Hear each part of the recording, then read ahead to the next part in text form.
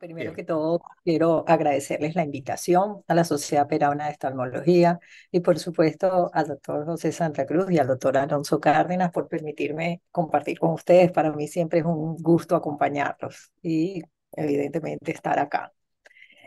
Eh, voy a hablarles hoy de OCT, la tomografía de coherencia óptica, tanto algunos principios básicos y su aplicación en neurooftalmología. Y sabemos que la tomografía de coherencia óptica es una técnica de imagen de baja coherencia que utiliza una luz prácticamente infrarroja. Encontramos que es una técnica de no contacto, no invasiva, que se caracteriza porque es reproducible y tiene una alta resolución. Hoy en día existen muchos equipos, cada uno tiene su propia algoritmo, su propia data normativa, su patentado, que pueden segmentar las capas de la retina de manera diferente, pero al final cada una de ellas, los protocolos de estudio son similares. Entonces, esto nos permite hacer los estudios tanto para el área de retina como en el área de neurooftalmología, lo cual se ha expandido hoy, por supuesto, al segmento anterior. Entonces, con ella obtenemos estudios prácticamente en vivo, prácticamente histológicos en vivo, que se miden en una escala micrométrica. Voy a hacer un breve recuento anatómico. Y recordemos entonces que la lámina cribosa nos permite la división del nervio óptico en su porción retrovulgar, que corresponde a la porción mielinizada, y la porción anterior corresponde al área no mielinizada. Y sabemos que esta es la que vamos a poder evaluar fundoscópicamente. Y este milímetro que podemos evaluar a través de los axones del cuerpo de las células ganglionares y el cuerpo de las células ganglionares en el área macular, no lo, lo vamos a poder ver en vivo y prácticamente lo podemos medir con el OCT. Y esto nos permite, por supuesto, es una ventana común para ver patologías del sistema nervioso central. Evidentemente que el nervio óptico nos va a dar entonces, como dije anteriormente, la información sobre la capa de fibras nerviosas y lo que corresponde en el área macular, vamos a encontrar lo que es el cuerpo, el complejo células ganglionares plexiforme interna.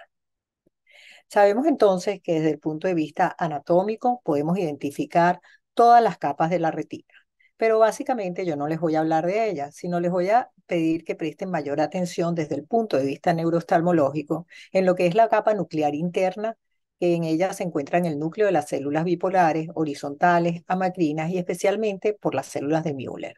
También la capa, el complejo plexiforme interna, células ganglionares, que es prácticamente el área de conexión sináptica entre las células bipolares y ganglionares, y además encontramos el cuerpo de las células ganglionares y por supuesto la capa de fibras nerviosas que corresponden a los axones de estas células ganglionares. Y desde el punto de vista neurooftalmológico, estas son las capas que hoy en día les prestamos mayor atención. Por supuesto, existen diversos tipos de algoritmos y probablemente estos algoritmos de eh, de falsos colores no se utilizan mucho, pero sí tienen valor, especialmente cuando vamos a evaluar cada una de las capas de, de la retina y por supuesto cuando queremos evaluar el mapa de espesor tanto de la capa de fibras nerviosas como el complejo de células ganglionares. Recordando que los colores fríos, es decir, el azul verde, representan las capas de menor espesor y las capas, los colores cálidos, el amarillo y el rojo, la de mayor espesor. Entonces, ¿para qué sirve la tomografía de coherencia óptica en neurooftalmología? Va a servir, por supuesto, para complementar el diagnóstico, en el control, seguimiento de los pacientes, para evaluar sus tratamientos. En un momento dado podría predecir una futura pérdida visual funcional si observamos un cambio de tipo estructural en el OCT y, por supuesto, en la investigación. Pero recuerden que esto es un examen complementario, por lo que la clínica es muy importante. Y desde el punto de vista de neurooftalmología se, ha utilizado en diversas entidades, tanto del sistema visual aferente como para su diagnóstico, seguimiento, así como en el sistema visual posterior también, en el sistema visual eh, posterior, tanto anterior como posterior aferente, y también, por supuesto, ha ayudado en la investigación de muchas entidades. Pero tal vez la mayor utilidad hoy en día es para evaluar o diferenciar lo que son los edemas de disco y los pseudopapiledemas, que son los que crean mayor, mayor controversia desde el punto de vista clínico cuando vemos estos pacientes. Y es a lo que yo les voy a hacer tal vez mayor, mayor énfasis el día de hoy, perdón. Entonces, la primera pregunta que uno se hace, ¿qué estudio o qué cortes debemos solicitar cuando pedimos un OCT? Entonces, lo primero que debemos solicitar es la capa de fibras nerviosas y el complejo de células ganglionares plexiforme interna. También debemos estudiar lo que es el EDI los estudios de profundidad especialmente a nivel del nervio óptico. Por supuesto, el angio-OCT hoy en día se ha incorporado y los que se llaman estudios en fase. Comenzando con lo que es el cuerpo el complejo de la capa de fibras nerviosas.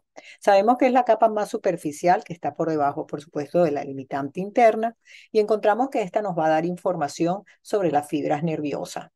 Debemos recordar que la señal debe tener una alta resolución por arriba de 7 para que tenga valor también podemos evaluar en ella los cambios que existen en nivel ocular, es decir, sus valores, tanto del punto de vista del radio, del disco, del espesor de la capa de fibras nerviosas, debemos, podemos evaluar lo que es el anillo neuroretiniano, recordando que una descentración del scan de 0.1 micras resulta en 2 micras de error en la capa de fibras nerviosas, por lo que es importante evaluar todo o revisar todo, todo el plan que nos dan para estar seguro de que está bien centrado el estudio. Y por supuesto nos permite evaluar las fibras nerviosas, si está bien eh, centrado en la membrana de Bruce y podemos evaluar por supuesto, también las mismas, las fibras nerviosas en cada uno de sus cuadrantes y, por supuesto, podemos compararlo o llevar, cumplir, ver si cumple la regla ISNT y hacer la comparación con la data normativa de acuerdo a la edad del paciente.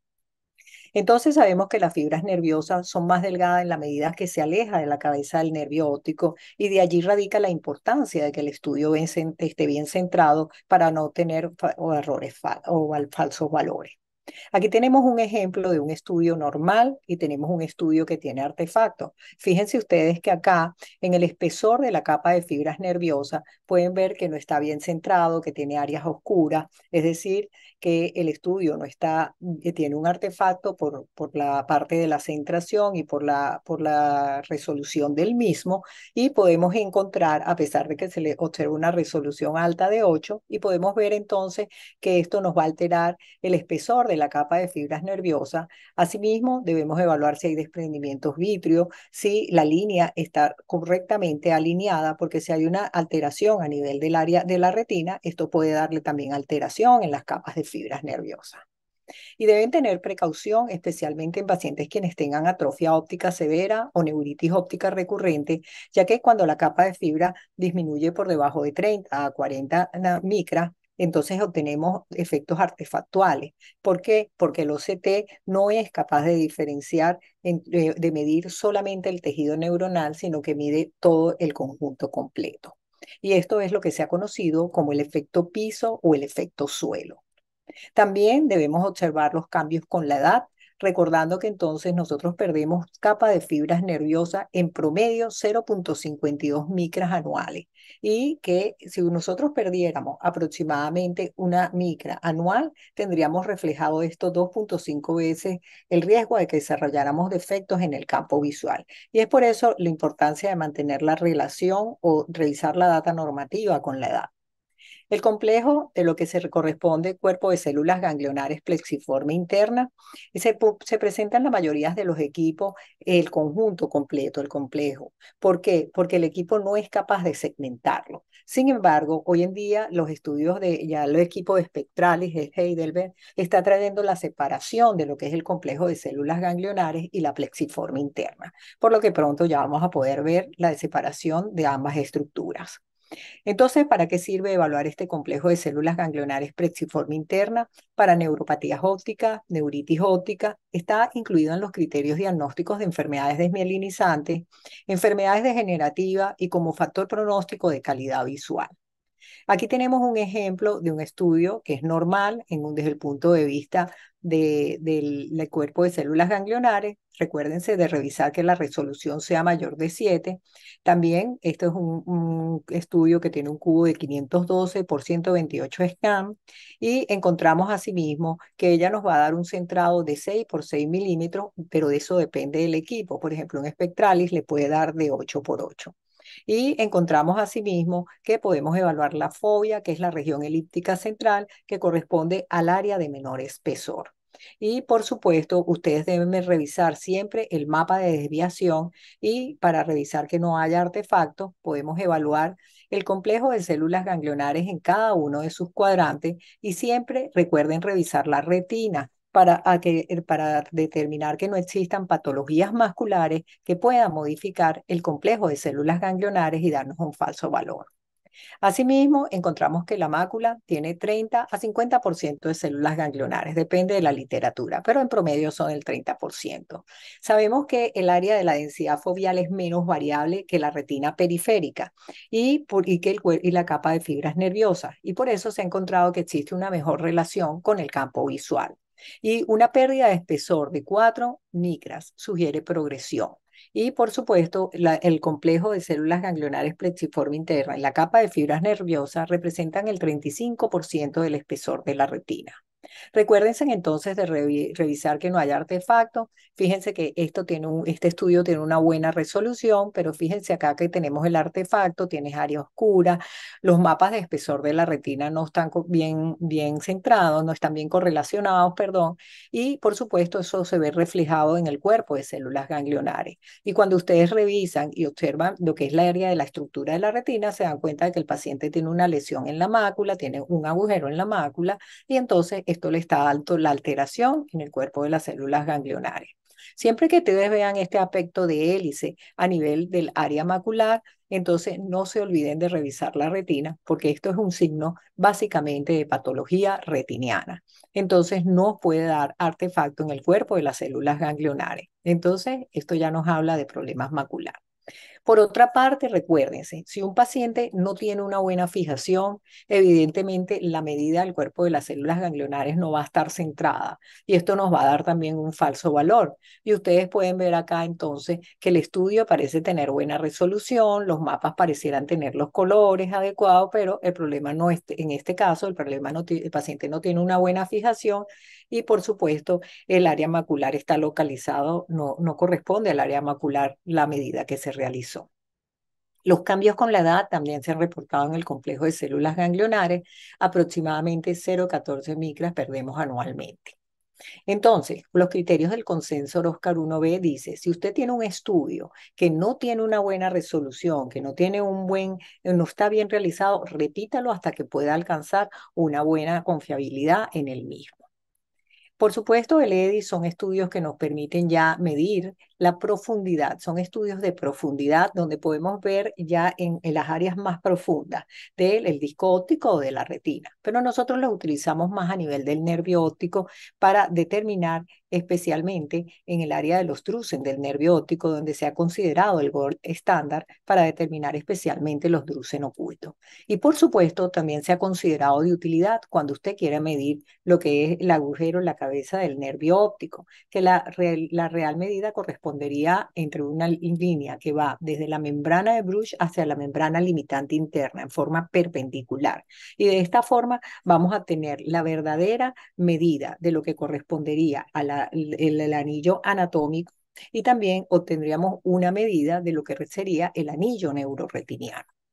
De tal forma que también podemos usar lo que son los estudios de angio-CT para evaluar la parte vascular, tanto del nervio óptico como de la mácula.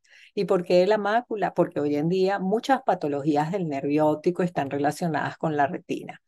En las capas superficiales podemos medir lo que es la densidad de los vasos y podemos determinarlo, esto el valor nos los va a dar en las capas superficiales y en las capas profundas podemos evaluar la misma, pero no tenemos todavía valores de las áreas más, más internas.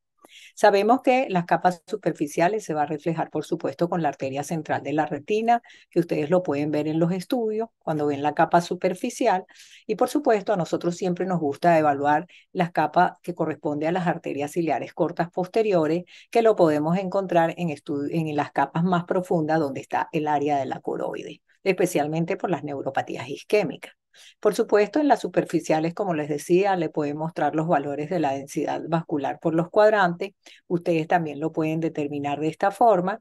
Y aquí, además de eso, ustedes pueden realizar estudios con diferentes cortes de 6 por 6 milímetros o de 3 por 3 milímetros del nervio, dependiendo de la amplitud que usted quiera revisar en el estudio. Y por supuesto, el angiocete macular se está utilizando desde el punto de vista neuro, evaluando las capas superficiales, profundas y coroideas, porque hoy en día existen muchas astrocitopatías retinianas. Y por supuesto, en ella también podemos determinar la medida que, que la amplitud del estudio que querramos, si es de 3x3, si es de 6x6 o si usted quiere un estudio mucho más amplio dependiendo de la patología que usted esté evaluando. Y por supuesto puede hacer controles en el tiempo a ver cómo ha venido esta densidad o este estudio vascular y puede hacer imágenes combinadas como esta que les permite ver toda la retina. Evidentemente que el estudio de angio-CT tiene una gran ventaja, tiene una gran resolución, no utiliza angiografía, no utiliza medio de contraste como la fluoresceína, pero tiene la desventaja que no muestra dinámica de flujo. Y la ventaja es que muestra presencia o ausencia de flujo y densidad y patrón de los vasos, pero y por supuesto la, la no necesidad del contraste. Los estudios que se llaman en fase son estudios que se llaman C-SCAN, se les ha denominado así, y es como que nos da una vista o una foto, como que viéramos la retina en foto de, de frente, en cortes transversales y frontales, y es como que hiciéramos una foto frontal de cada una de las capas de la retina.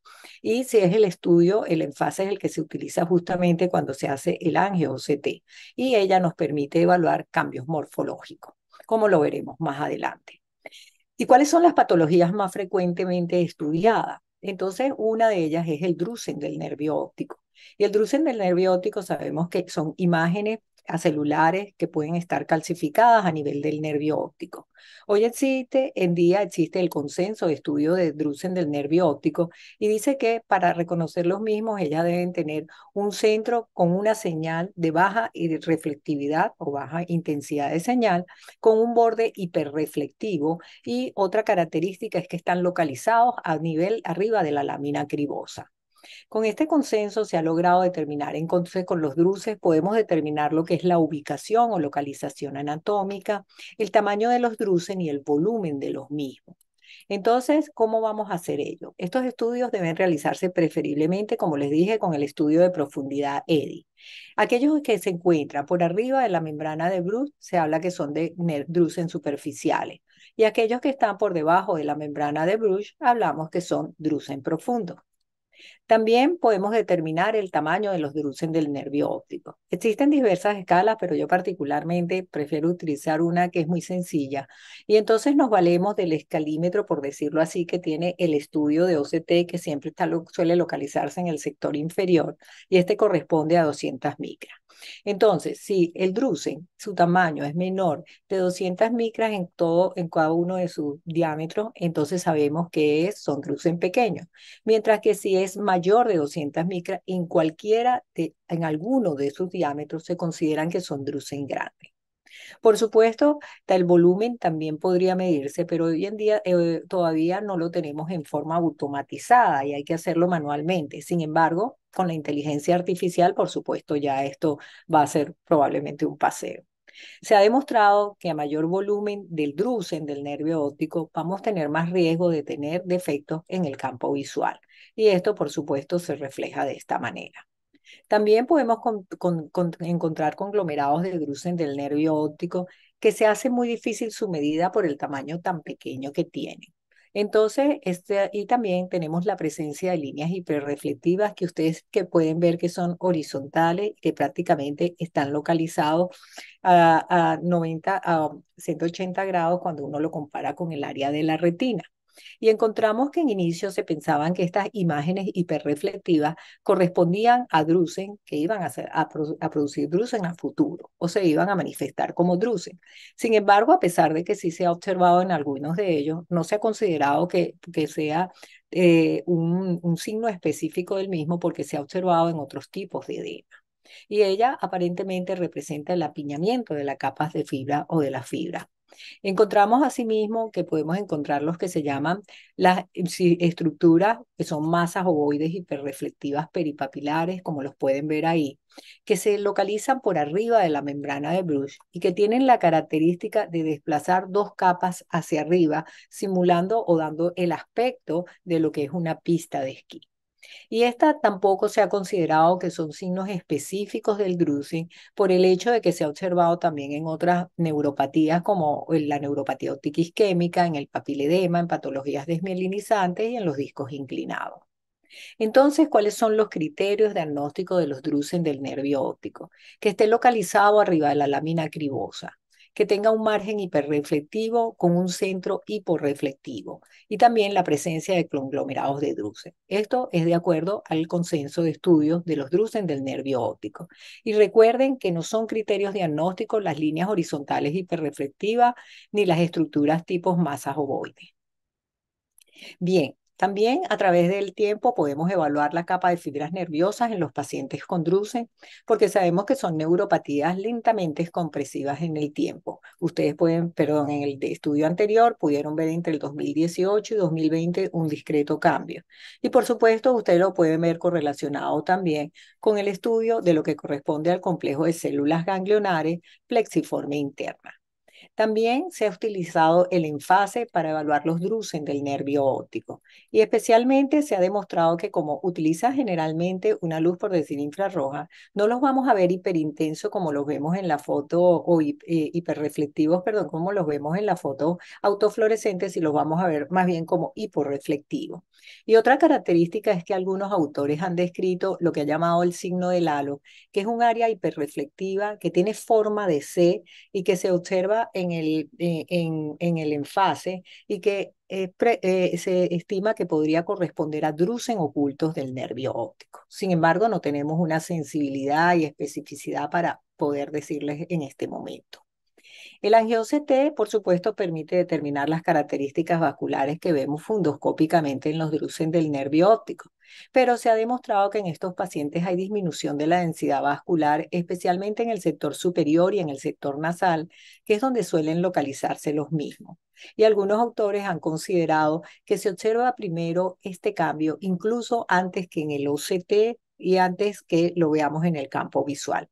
Y entonces han sido considerados por algunos autores como un biomarcador diagnóstico en estos pacientes. En cuanto al papiledema, sabemos que es un edema del disco que suele ser bilateral y asimétrico por aumento de la presión intracraneal. Una característica que se suelen ver en los papiledema es que en ellos se produce un desplazamiento anterior de la membrana de Bruch y que se ha utilizado como un biomarcador para medir la respuesta en el tratamiento cuando usted observa que la membrana de Bruch ya se va desplazando hacia en la parte hacia abajo. Por supuesto, también se utiliza el análisis de la capa de fibras nerviosas, pero el análisis de la capa de fibras nerviosas, no, cuando uno ve ese edema, no le va a permitir diferenciar un edema de una neuritis, de otra patología. Pero lo que sí es importante que recuerden que el, la segmentación cuando el edema es muy grande no es de gran utilidad el OCT. El OCT es muy útil cuando son edemas leves o son edemas crónicos, pero aquellos que son de mayores de 200 micras tenemos el problema que el equipo no lo puede segmentar bien. Y no lo puede segmentar porque no puede llegar a la membrana de Bruce por lo grande que es el mismo. Es tan alto que el, equipo no puede llegar a dar una medida exacta. Y entonces ustedes lo pueden ver reflejado acá, como en el caso de este paciente, donde es difícil localizar la membrana de Bruce para hacer la medida, porque es muy grande el papiledema. Y esto, por supuesto, se ve reflejado en el cuerpo de células ganglionares. Y ustedes dicen, bueno, este cuerpo de células ganglionares está afectada, como lo vemos ahí todo en rojo pero resulta que después que usted ha tratado el paciente, se da cuenta de que en realidad no correspondía a que estaba afectada, sino que el edema era tan grande que el equipo no lo podía segmentar. Y es por eso que se prefiere en los edemas leves o en los edemas crónicos.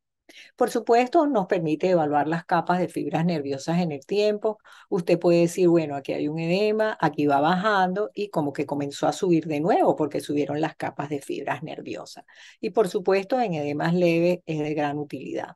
Y por supuesto, también utiliza el complejo de células ganglionares plexiforme interna, pero este debe utilizarse siempre con el acompañamiento del campo visual. Y por supuesto, si se mantiene con unos valores normales, usted dice, pues el paciente va evolucionando de buena, de, eh, eh, de buena forma. Pero usted también puede conseguir como este un gran edema al disco, le pone tratamiento y usted ve que este paciente están bajando las fibras. Dice, bueno, el edema está disminuyendo. Pero resulta que cuando ve el cuerpo de las células ganglionares, en vez de mejorar, usted dice, esto está progresando. Entonces quiere decir que el paciente no está respondiendo bien al tratamiento. En este caso, entonces sí debemos prestar mucha atención.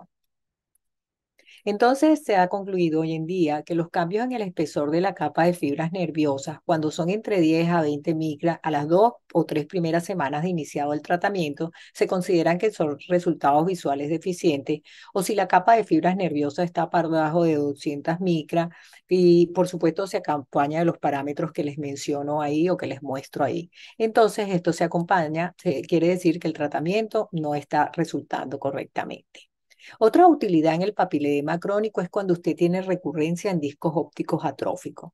Entonces, usted puede ver que si hay un incremento del valor basal de la capa de fibras nerviosas el 20%, que no sea tan evidente fundoscópicamente y usted lo sospecha en el paciente, a eso se le da valor. Y por supuesto, aquí les muestro un ejemplo de un paciente con una atrofia postpapiledema que tuvo recidiva del edema. Vamos a decir que ya no tenemos fibras nerviosas que se edematicen al fondo de ojo para mostrarnos el mismo, pero fíjense que este sí fue hecho con un estudio anterior, con un equipo viejo, pero fíjense que el área macular se mostraba elevada porque el líquido se desplazó hacia dicha zona y entonces esto nos sirvió de valor. Y recuérdense que en ellos no hay fuga en la angiografía fluoresceínica. Y cuando usted tiene un edema macular que no fuga con la angiografía fluoresceínica, ya sabe que viene del nervio óptico. Evidentemente que con el papiledema se han reportado edemas maculares, lo que hace que muchas veces los pacientes tengan compromiso de la visión central y también puede haber la presencia de membranas o pliegues en la epirretiniano y aquí ustedes pueden ver que esto son a veces una de las complicaciones que puede observarse en los pacientes con papiledema. El estudio en fase se utiliza tanto en la retina como en el nervio óptico, especialmente para evaluar la presencia de pliegues, que evidentemente los podemos ver fundoscópicamente, ¿verdad? Como las estrías de pato. Pero se utiliza especialmente cuando usted quiere evaluar cuál es el riesgo de que el área macular se esté afectando por los pliegues, porque estos pacientes entonces tienen, son los que tienen mayor compromiso visual. Y a veces ve usted un fondo de ojo como este, donde el paciente tiene una atrofia básicamente en la etapa de resolución del papiledema y dice, oye, la mácula no pareciera estar tan mal porque el paciente no ve tan en el área central. Y cuando usted hace el enfase se da cuenta que, es que está afectada el área macular de este paciente. Entonces, esa es la utilidad que tiene el enfase en el estudio del papiledema. En el angio-CT se ha reportado disminución, por supuesto, en la densidad vascular, pero no tenemos un patrón específico que nos diga esto es específicamente del, del papiledema. Y por supuesto, se están llevando muchos estudios para ello. Y algunos autores consideran que el adelgazamiento de la capa plexiforme interna nos indica que hay un mayor compromiso visual.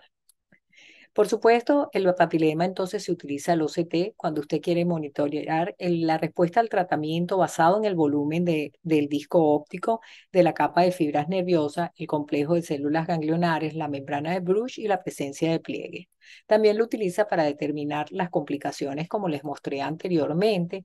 Y por supuesto, las células ganglionares es la que nos va a indicar cómo, si hay compromiso neuronal, ¿verdad? En presencia de capa de fibras nerviosas, si se están deteriorando, usted dice, bueno, debo hacer un tratamiento más agresivo.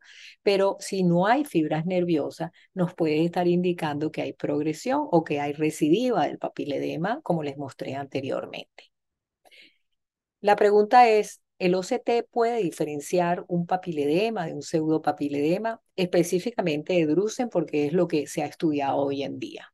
Y bueno, el papiledema y el pseudopapiledema se ha encontrado que el capa de fibras nerviosas suele ser menor en el pseudoedema y, mayor de 127 en el papiledema. Y esto le ha dado una sensibilidad y especificidad del 73%. En el papilema tiende a aumentar más las fibras en el sector superior e inferior, mientras que en el pseudoedema en el sector superior y nasal. Y otra característica es que cuando usted sigue al paciente en el tiempo, si hay un paciente que tiene un real papiledema, las medidas van a variar. Se estima que entre 5 a 7 micras, cosa que en el pseudoedema es poco probable que usted observe variabilidad en el tiempo, a menos que sea a través de los años. La membrana de Bruce sabemos entonces que el desplazamiento hacia arriba nos habla del papiledema y que la apertura de la membrana es normal en el papiledema, mientras que en el pseudopapiledema puede ser menor, pero se dice que su valor es en niños, porque si hay un drusen que se localice donde está la membrana de Bruce, por supuesto le va a haber una apertura mayor y ya no pierde, no nos permite hacer esa diferenciación. La presencia de pliegues evidentemente nos habla más del papiledema que en el pseudoedema. Y si aún usted tiene la duda que existe un edema, usted puede hacer la maniobra de aducción como la que hace en la ecografía. Y si se forman pliegues, usted dice estamos frente a un papiledema.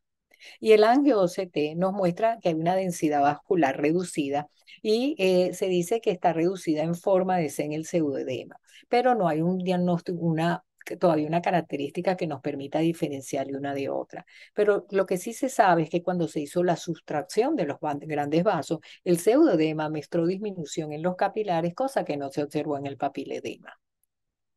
Con relación a la neuritis óptica, las últimas publicaciones de diagnóstico y clasificación de neuritis óptica consideran que el OCT es un examen paraclínico obligatorio. Y por supuesto, la neuritis óptica se ha estudiado tanto en la esclerosis múltiple, en el espectro de la neuritis óptica, lo que conocemos hoy como el MOC, y en las idiopáticas. Pero el estudio de OCT hoy en día se ha basado básicamente en las enfermedades desmielinizantes y es en ello a lo que les voy a mostrar. Recordando entonces que debemos recordar la capa nuclear interna, especialmente porque tenemos el cuerpo de las células de Müller. Debemos recordar, por supuesto, que el cuerpo de las células de Müller son importantes para el espectro de neuromielitis óptica, que es el acuaporin 4. También debemos recordar entonces nuestra capa donde se encuentra la capa plexiforme interna, que básicamente es el área de sinapsis entre las bipolares y las células ganglionares y por supuesto el, el, cuerpo de las células ganglionares. Y sabemos pues que estas capas no las da segmentada los equipos, aunque ya por supuesto estamos teniendo equipos que ya las están segmentando. Y por supuesto, esta se va a ver en las tres entidades, tanto en la esclerosis como en el MOC, como en el espectro de neuromielitis y por supuesto la capa de fibras nerviosas que también la estudiamos en las tres variedades de enfermedades desmielinizantes que se estudian, que se llevan hoy en día. Entonces podemos ver reflejado en la capa de fibras nerviosas, podemos ver reflejado en el cuerpo el complejo de células ganglionares y recuerden, por supuesto, la nuclear interna para el espectro de neuromielitis. Entonces, encontramos que la neuritis óptica se ha estudiado tanto desde el punto de vista agudo, clínico y subclínico. En la fase aguda cuando tenemos un edema de disco, es difícil diferenciar si es una neuritis, una neuropatía, un papiledema, ¿verdad? Y de acuerdo al grupo de estudio del consorcio de esclerosis o enfermedad de esclerosis múltiple. Pero sabemos que la fase crónica sí nos puede dar una orientación. También podemos eh, determinar cuándo sospechar de una neuritis óptica antigua o subclínica si es unilateral. Por ejemplo, en el caso de este paciente, ustedes pueden ver que tiene una normal agudeza visual y visión de colores y se consigue que tiene una disminución de la capa de fibras nerviosas en el asmáculo papilar. Si usted consigue una diferencia interocular mayor de 5 micras o en el complejo de células ganglionares pletiforme interna mayor de 4, que haya esa diferencia interocular, perdón, entonces nos habla de que hubo una neuritis óptica antigua. También podemos estudiar la posibilidad de una neuritis óptica subclínica. ¿Cuándo lo sospechamos? Cuando en el ojo sintomático eh, está, eh, usted consigue su edema, que era lo que esperaba, pero se consigue que en el ojo asintomático hay cambio tanto en, en, la capa de fibras nerviosas y cuando en ambos, tanto en el ojo sintomático que nunca había consultado o en el ojo asintomático, usted consigue alteración en el complejo de las células ganglionares plexiforme interna. Entonces, también hoy en día se habla de la degeneración retrógrada. Y sabemos entonces que aquellos pacientes que usted consigue, por ejemplo, con un edema y se consigue una alteración en el complejo de células ganglionares, usted dice, bueno, ¿será que este paciente tuvo un evento subclínico anteriormente y tuvo una degeneración axonal por enfermedad? O también en aquellas que son por degeneración transináptica, que hoy en día se están estudiando, especialmente en las enfermedades de, de, cerebrovasculares, pero también se han descrito en las desmielinizantes, sobre todo aquellas lesiones donde usted observa que la capa de fibras nerviosas está conservada y consigue un patrón exactamente anatómico que se correlaciona con el del campo visual y con las lesiones que están por detrás del cuerpo geniculado lateral en el estudio de la resonancia. Y por supuesto, hoy en día sabemos que se puede ver hasta 5.5 meses o 2.5 años después de que ha ocurrido el evento. Y por supuesto, esto va a favor, toma en cuenta, eh, se considera que, que, puede ser así, porque los estudios post-mortem posterior a esclerosis múltiple han demostrado que 94 a 99% de los pacientes tienen compromiso del nervio óptico, hayan o no hayan tenido síntomas. Entonces, eso iría mucho más a favor de la degeneración trasináptica. Entonces, capa de fibras nerviosas normales con disminución del complejo de células ganglionares plexiforme interna puede tratarse de una neuritis subclínica, una degeneración retrógrada, una degeneración trasináptica o una astrocitopatía retiniana primaria. Ya les voy a conversar de ello. Entonces, encontramos que si usted tiene en las formas progresivas de enfermedades desmielinizantes, si hay disminución de las células ganglionares, se ha encontrado hoy en día una correlación con la atrofia del cerebro, materia gris y tálamo. Esto cambió un poco porque antes se decía, si usted pierde la fibra nerviosa es materia blanca, si pierde este, eh, las células ganglionares está relacionada con materia gris. Hoy en día esto ha cambiado y esto es lo que están llevando los nuevos estudios. En cuanto a una neuritis óptica típica, entonces, aquí tenemos un paciente con un edema de disco, su primer debut de una neuritis óptica. Usted conseguiría, por supuesto, el aumento en la capa de fibras nerviosas. Y si está en la fase aguda y es la primera vez que ocurre, usted esperaría conseguir un complejo de células ganglionares normales, por supuesto. Pero si en la medida que avanza, que el paciente va resolviendo su patología, entonces usted ve la disminución de la capa de fibras nerviosas del máculo papilar y usted puede ver entonces que también se va a reflejar en el complejo de células ganglionares. Si usted tiene un paciente con una neuritis óptica retrovulvar, no hay edema del disco, por supuesto, usted va a tener un complejo de, capa de las capas de fibras nerviosas normales. Y por supuesto, si el paciente no ha tenido evento previo o subclínico previo, puede tener normal o alterado el cuerpo de las células ganglionares plexiforme interna, como lo podemos ver acá. Bien, le muestro este caso clínico de una neuritis óptica típica de un femenino de 27 años de edad quien consulta por disminución de la visión en el ojo izquierdo con dolor a los movimientos oculares. Su visión es 20-40, hay discromatoxia, desaturación al rojo, alteración en la percepción subjetiva a la luz y defecto pupilar aferente relativo. El fondo de ojo básicamente normal, este es el ojo comprometido, el del lado por el que consulta el paciente, el lado izquierdo, y usted se consigue, pues evidentemente, que su capa de fibras nerviosas está normal y, por supuesto, también consigue que está normal el complejo de células ganglionares, porque es retrovulvar, no estamos viendo edema en la cabeza del nervio óptico, pero en la medida que pasa el tiempo, usted puede conseguir los cambios como los que vimos cuando había el edema disminución de la capa de fibras nerviosas, especialmente del máculo papilar, que se refleja en el OCT y usted lo puede reflejado en el complejo de células ganglionares plexiforme interna y también en el campo visual. Bien, recuérdense entonces, cuando ustedes vean los complejos de células ganglionares plexiforme interna, revisar la estructura, lo que es la parte anatómica o, estructural de la, de la retina para asegurarnos que no haya artefacto. Y este fue el caso de ese paciente de una esclerosis múltiple. Recuerden entonces que una neuritis óptica por esclerosis múltiple, 70 a 75% de los pacientes pierden 10 a 40 micras de fibras nerviosas dentro de los 3 a 6 meses y se ha considerado como valor predictivo al primer mes. El angio-OCT se ha estudiado también, en el, por supuesto, en la neuritis óptica y algunos lo consideran como un biomarcador temprano porque consideran que hay disminución en la densidad de los vasos. Pero creo que todavía faltan estudios para poder establecer esto con mucho más precisión. Y por supuesto, debemos estar alerta en los pacientes con esclerosis múltiples por los medicamentos que emplean. Algunos medicamentos que emplean los pacientes en la esclerosis múltiple, como el fingolimod, siponimod, pueden dar edema macular cistoideo y ustedes pueden confundirse creyendo que se trata de la patología, por lo que revisen bien los medicamentos. Y esto se ve generalmente en pacientes quienes tienen antecedentes de diabetes o quienes ya hayan tenido neuritis óptica. Entonces, ¿cuáles serían los parámetros para diferenciar una esclerosis múltiple de un espectro de neuromielitis y el MOC? Entonces, desde el punto de vista de la capa de fibras nerviosas, el predominio de pérdida de fibras nerviosas en el espectro de neuromielitis es superior e inferior, y en la esclerosis múltiple es más las fibras temporales, y en el MOC puede ser más parecido a la esclerosis múltiple o podría ser generalizado. La lateralidad eh, suele ser bilateral en el MOC y en el espectro de neuromielitis, la diferencia interocular se observa mayor en la esclerosis múltiple porque recuerde que el espectro suele afectar ambos nervios casi simultáneamente o seguido, y la pérdida de capa de fibras nerviosas es mucho mayor en el espectro de neuromielitis y la esclerosis, y en seis meses la pérdida también de capa de fibras nerviosas va a ser mayor en el espectro de neuromielitis porque esta suele ser más progresiva, incluso lentamente progresiva.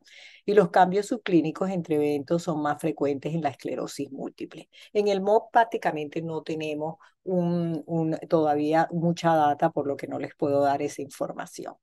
Desde el punto de vista del edema macular quístico, microquístico que se ha descrito, se ha observado especialmente en pacientes con espectro de neuromielitis cuando se acompañan con la esclerosis y en el MOC hay estudios que son bien controversiales, pero no tenemos una data establecida.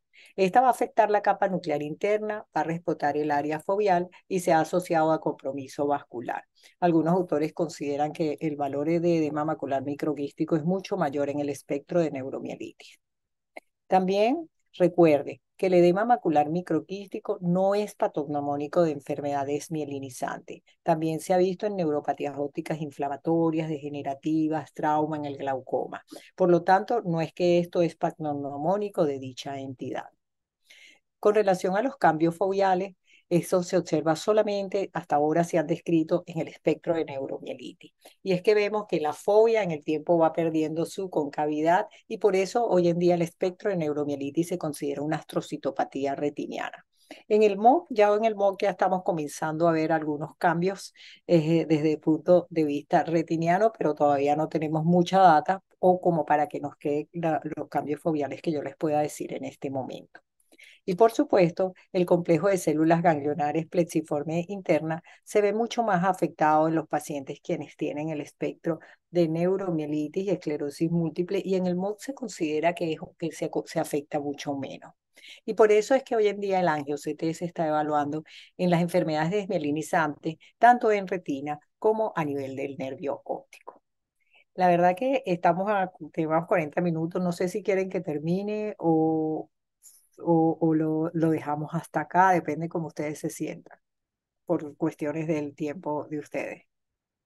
Yo creo que debe continuar, ¿no, doctora? Ok. Interesante. gracias. La neuroretinitis. Recordemos entonces, fíjense, este es el caso de un masculino, 30 años de edad, con un escotoma central positivo no tenía discromatosia ni defecto pupilar aferente. Y ustedes ven ese fondo de ojo y dicen, bueno, ¿será que esto es una neuritis óptica? Pero recuerden que el escotoma positivo es llamarle la atención. Y si ustedes ven esos pliegues en la retina y ven el estudio de OCT, se pueden dar cuenta de cómo realmente se trata de una neuroretinitis, donde usted puede ver esta fuga de líquido que llega hasta el área del área la mácula y que usted puede ver que hay esa fuga más en el disco óptico, como lo demostró el doctor Gas, que se trataba de una patología más de nervio y no del área macular. Encontramos que usted además de eso, con el OCT, podría ver hasta la celularidad vitrea si quiere. Y por supuesto, en estos estadios donde ya se forma la estrella macular, usted puede ver los depósitos o los exudados duros que se relacionan mucho con la capa de genes. Aquí los pueden ver que se tienden a localizar especialmente hacia las capas externas y donde ustedes pueden ver estos, estos, estos exudados duros que son los responsables muchas veces del compromiso visual y que producen además adelgazamiento del área fobial. También en las recurrencias de neuroretinitis se ha considerado de valor porque usted dice, bueno, tengo un disco óptico ya pálido y con su estrella macular y el paciente tiene una recidiva y resulta que a veces usted en la recidiva puede ver que hay el mayor aumento que a lo mejor no es tan evidente fundoscópicamente porque se han perdido fibras nerviosas. El enfase también se ha empleado, donde ustedes pueden evaluar, por supuesto, los pliegues, los cambios maculares y donde pueden ver la presencia de estos exudados duros. Y por supuesto, no tenemos un patrón específico vascular que podamos darles hoy en día, pero los estudios se están llevando y por supuesto a futuro ya tendremos. Y la última que les quería mencionar es la neuropatía óptica isquémica. Y la neuropatía óptica isquémica se considera que en la fase aguda no, este, no les va a dar un valor o un dato tan, tan, tan, tan específico como cuando lo como vemos en el campo visual. Entonces, ¿por qué? Porque vemos la capa de fibras nerviosas aumentada, todavía no se ha afectado el complejo de células ganglionares y ustedes ven el defecto altitudinal del campo. Pero en la medida que el paciente ya progresa, que va hacia la fase de cronicidad, entonces ya comienzan a igualarse los patrones y entonces ya usted puede ver que comienza a aparecerse, aparecer el defecto altitudinal, se hace más evidente la correlación con la capa de fibras nerviosas. Pero la correlación siempre es mucho más, se observa mayormente con el complejo de células ganglionares plexiforme interna. Pero si tenemos una palidez temporal del disco y, por supuesto, afecta las fibras nerviosas superiores, inferiores, temporales, como lo vemos acá, con este efecto de campo visual, evidentemente que el complejo de células ganglionares puede afectar en su totalidad y no va a tener un patrón tan específico como los vemos cuando son sectoriales. La neuropatía isquémica anterior se ha estudiado, por supuesto, el angio-CT, donde se ha demostrado disminución por supuesto, de la densidad de los vasos, como lo podemos ver acá, faltan muchos estudios, sorpresivamente pensábamos que iba a ser solo a nivel del área coroidea, eh, del área de, las capas profundas, pero se ha observado también a nivel del área superficial. Incluso algunos autores han considerado que afecta, por lo menos en casos agudos, mínimo por lo menos dos cuadrantes en el 100% de los casos y en los no agudos, cuatro cuadrantes en el 50% de los casos. Aquí podemos ver que en la fase de edema, por supuesto, y los cambios como se van relacionando más con lo que correspondería al complejo de células ganglionares. Hoy en día se dice que en el nervio óptico hay disminución de la avancidad vascular total o peripapilar y en el área macular se ha encontrado disminución de la capa superficial y profunda y que esto puede observarse eh, hasta el periodo de 3 a 6 meses, donde puede haber progresión en el nervio óptico, mientras que en la mácula suele verse más estabilidad.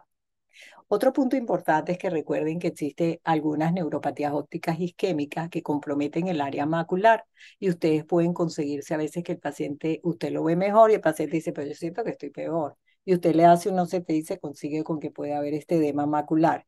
Y recuérdense que estos edemas maculares no fugan en la angiografía fluoroceínica, por lo que el OCT en estos casos sí es de valor.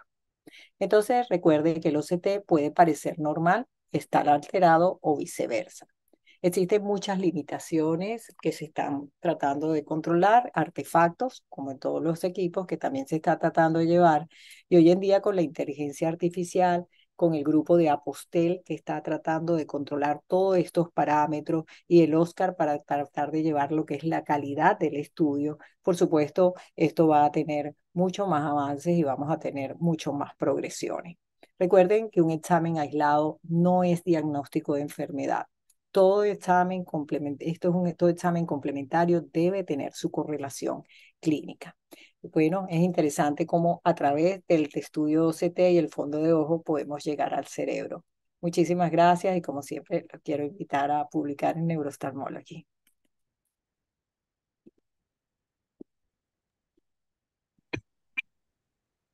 Muy interesante, doctora. Eh, bueno, no solo interesante, excelente su exposición. Eh, es todo un mundo eh, que nos ha abierto ahora el OCT a la neurooftalmología eh, y ya va a hacerse muy casi indispensable, claro, sin faltar a la clínica, como, como usted misma refiere. Yo quería hacerle una preguntita, este, ¿por qué algunos, por qué se presentan los drusen? Yo sé que es una degeneración de los axones y se puede hablar de que haya habido algún antecedente en la, digamos, eh, de tipo patológico en el nervio óptico de, de estas personas anteriormente.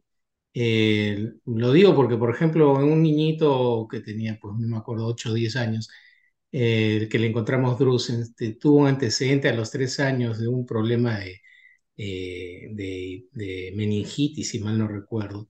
Entonces, este, estaba pensando si es que no tendría que haber algún antecedente al respecto. Y la otra era este, cómo diferenciar una, un edema de papila, un papiledema en un niño que ya tenga un drusen. porque debe haber también chicos que tengan drusen y a la vez papiledema, ¿no? Eh, ¿Cómo podríamos hacer, doctora? Bueno, este, con relación a la primera pregunta de los drusen del nervio óptico, hasta ahora, que yo sepa, no, no se ha demostrado que existe una patología previa para que el paciente pueda desarrollar el drusen, ¿verdad? Este, y como tú mismo dijiste, es una alteración en el flujo axoplásmico, pero hasta ahora que, que haya factor de ese tipo predisponente no. Se ha considerado más factores de tipos estructurales, que si el anillo neuroretiniano, y que también muchas veces ha entrado en discusión si es tan pequeño el espacio o no. Pero para decirte, eh, eh, hasta ahora que yo lo sepa, no. Si alguien lo sabe, bueno, maravilloso, bienvenido, pero no que lo sepa. Con relación a cómo diferenciar un, este, un papiledema de Drusen del nervio óptico es supremamente difícil. Desde el punto de vista clínico, por supuesto, eh, dependiendo del grado del edema, uno podría hacer fundoscópicamente, hacer lo que uno dice, bueno, la clínica, por supuesto, porque además tenemos la característica de que el Drusen y el papiledema tienen defectos de campo visual similar, pueden dar oscurecimientos visuales transitorios. La mayoría de los pacientes que tienen dulces son de dolores, de, sufren de dolores de cabeza y llegan a la consulta y los confunden con papiledema y el papiledema tiene características similares. Y evidentemente que ambos se han reportado. Entonces, desde el punto de vista, por decirte, desde el punto de vista clínico, evidentemente eh, aparte de la clínica, hacer la foto por transiluminación si es posible, a ver si vemos drusen oculto. Y desde el punto de vista eh, del OCT, tal vez este, ayudaría lo que te digo hacer el EDI y por supuesto el verlo de la membrana de Bruch si este es de valor. Creo que lo más difícil sería hasta cuándo tratar el paciente, ¿no? Cuando están las dos patologías.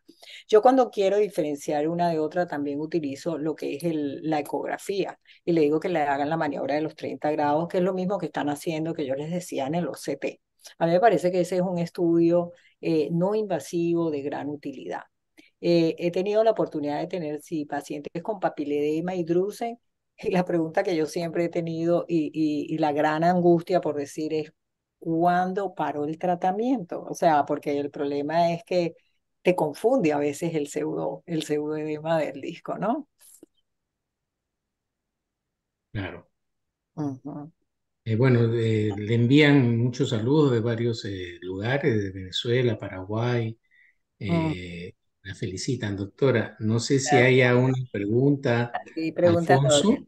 El doctor, aquí vivo que dice el doctor Rovira que sí, que qué opina del uso de la ecografía. A mí me parece que, que la ecografía con la maniobra de los 30 grados es una gran ayuda, como le decía el doctor ahorita, y sí, yo la, yo la utilizo, por supuesto, en esos casos. Excelente, Emily. Eh, Gracias. muchas gracias. Justo Gracias. hoy día tuve una, justo hoy día tuve una paciente que vino con su, una señora mayor que vino con su hija y su hijo y, doctor, me manda con usted porque tengo esto, ¿no? Y tenía una disminución de fibras nerviosas en uno de los ojos, ¿no? Una aparente neuropatía con disminución de la visión, ¿no? Y bueno, la voy chequeando, bueno, su visión sí disminuida, veo el OCT, sí pues 57 micras en ese ojo afectado, las células ganglionares también disminuidas, ¿no? Y, pero tenía buenas pupilas y veía bien los colores en ambos ojos. Entonces, señora, y ella misma me dice, doctor, pero la señorita que me hizo, eh, creo que no se tomó su tiempo, me acomodó, me jaló y bueno, algo así como que no le tomaron bien, ¿no? Y viendo bien el, el print del OCT, sí pues se notaban franjas que no, había, no habían sido captadas por el examen, por el scan, y por lo tanto era un artefacto, ¿no?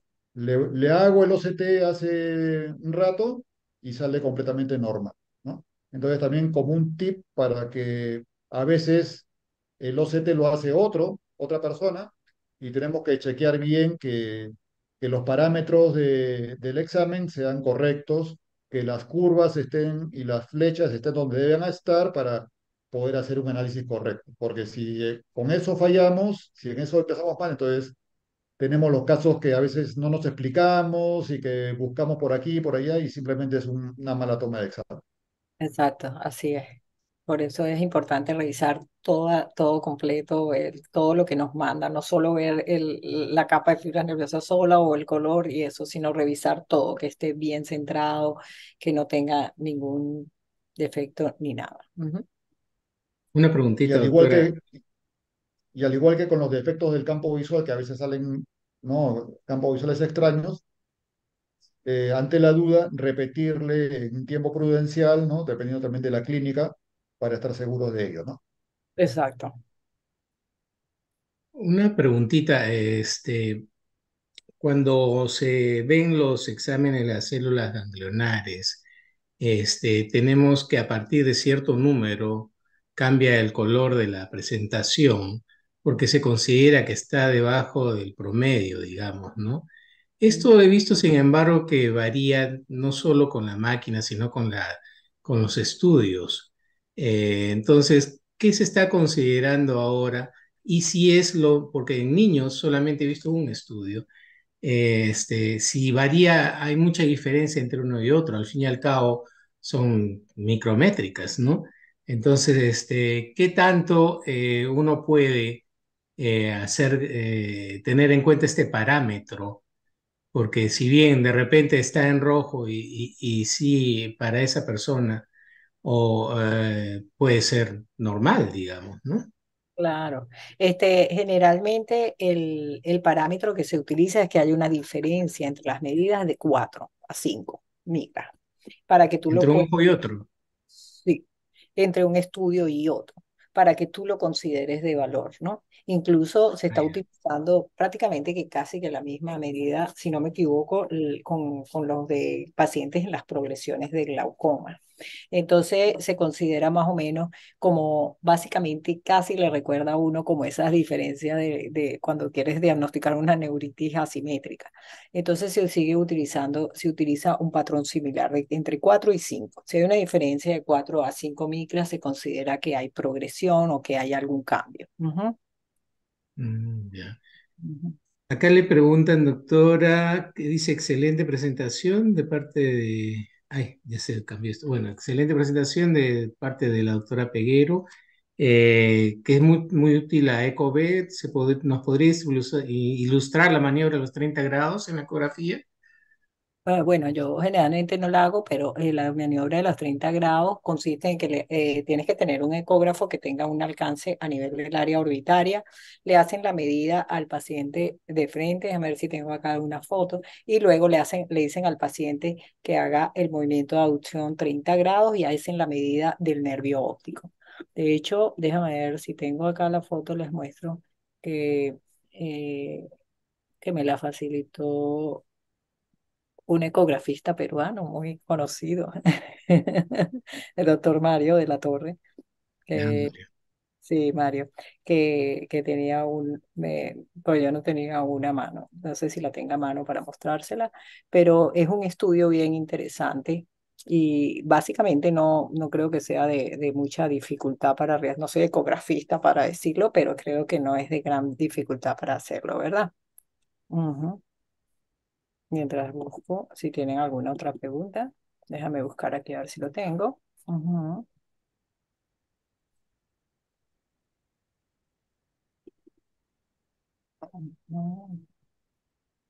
Parece que, y, y en el OCT la están haciendo también, incluso lo estaban haciendo con los drusen, después no se escuchó más nada al respecto.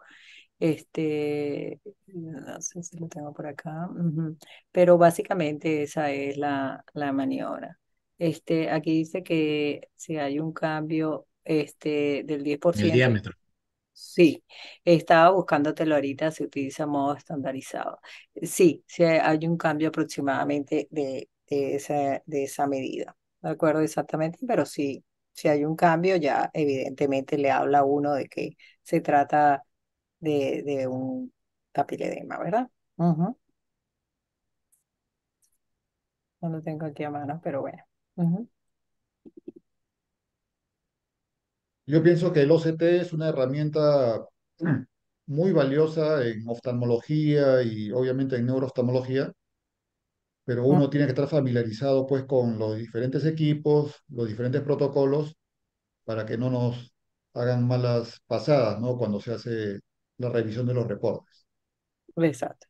Este, este es un el test de los 30 grados de la ecografía estandarizada del nervio. Como les digo, yo no soy especialista en esto, pero nos permiten el diagnóstico diferencial por el engrosamiento del nervio si hay el aumento del diámetro por el acúmulo de fluido o una lesión sólida. Como les digo, estas fotos pertenecen al doctor Mario de la Torre, como lo dice ahí, que él me las facilitó. Y entonces aquí él me mostró cómo tiene la medida del nervio. Aquí ustedes hacen la medida entre la vaina del nervio óptico, aquí lo podemos ver. Y entonces aquí es, es negativo si no aumenta y por supuesto aquí pueden ver la medida cuando no incrementa si es positivo. Y básicamente ese es el, el estudio. Y creo que es el 10% tal cual como dice la autora, no recuerdo exactamente, pero sí, sí, ese nos ayuda a la diferenciación. ¿Qué hacemos, Emily, cuando no tenemos el EDI para las drusas? Cuando no tenemos el EDI para las drusas, este, bueno, nos seguimos valiendo como antes, tratar de verlas y por supuesto yo creo que la clínica es lo más importante.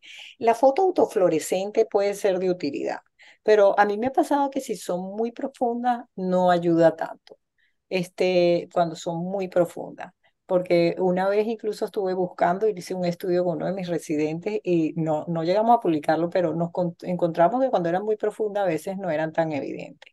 El enfase, algunos autores consideran que podría llegar a, a, su, a, suplantar el, la autofluorescencia, porque tú utilizas el enfase y el enfase tienes esta foto infrarroja, solo que vas a ver la inversión, por decir, de, de, de, la, de la intensidad, de la reflectividad.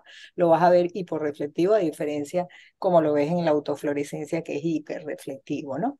Y ese, esa es una característica. Entonces, mucha gente está utilizándolo, pero claro, evidentemente que faltaría mucho. Ya vi casi todos los equipos están trayendo este prácticamente, porque incluso para glaucoma y todo se está utilizando el EDI, ¿no? Pero por supuesto hay muchos que todavía no lo tienen, evidentemente. Hay que hacerle el update al, al equipo y todo esto, ¿no? No, ahí estoy Este. Muy bien. Si tienen alguna otra pregunta, algún comentario que nos quieran dar. Estamos a la hora de ver si tengo aquí el volumen, no tenía la, estaba buscando si tenía la, las fotos, pero aquí. Ok, fíjate acá. Esta, esta foto, fíjate, la infrarroja se ve acá, vamos a verla acá, y esta que está del lado izquierdo de la pantalla, eso es una autofluorescencia. Y ahí se ve cómo se ve eso, vamos a decir, blanco, hiper, hiper, por decir hiperreflectivo. Y cuando utilizamos este, estas fotos infrarrojas, entonces se ve más bien acá, se ve menos intensa ¿no? que el otro. Entonces se dice que el enfase, tú puedes utilizar estas imágenes que te ayudarían a hacer la diferenciación, ¿no? Por supuesto, falta todavía, por supuesto, muchos estudios. Excelente, Emily. Bueno, muy bien, muchas gracias, eh, Pepe. No sé, creo que ya no hay más preguntas. Han estado bien este, los comentarios. No sé, eh, simplemente agradecerte, Emily, eh, por tu excelente charla, tu excelente ponencia. La quisimos traer a esta sesión, ya que la presentaste en el Congreso Peruano pero quería que tuviese mayor eh, alcance a los colegas residentes, colegas eh, oftalmólogos y, e interesados por la neurooftalmología, obviamente, ¿no? Así que muchas gracias, Emily. Siempre es un gusto tenerte, eh, por lo menos de manera virtual. Ya nos estaremos viendo en algún congreso en forma presencial. Muchas gracias, Pepe, por, por la moderación y muchas gracias, estimados participantes, colegas de, de Perú y Latinoamérica y de San Antonio, Texas. Saludos para todos eh, ustedes y eh, ya nos vemos en, en, la siguiente sesión el próximo mes. Muchas gracias y buenas noches. Buenas noches con todos. Gracias, Alfonso. Gracias, doctora. Nos vemos. Gracias a todos los participantes.